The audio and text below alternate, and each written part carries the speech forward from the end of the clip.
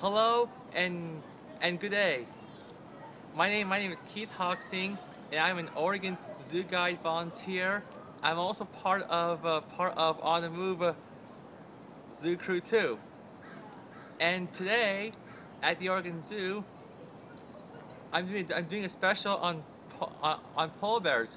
Their names are Conrad and Tasul.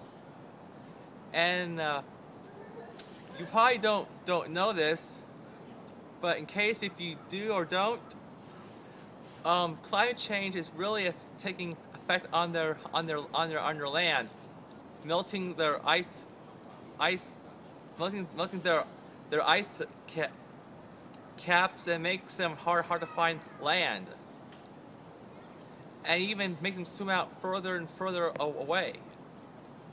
So, it's, so let's step up to the plate and help these polar bears before it's too late.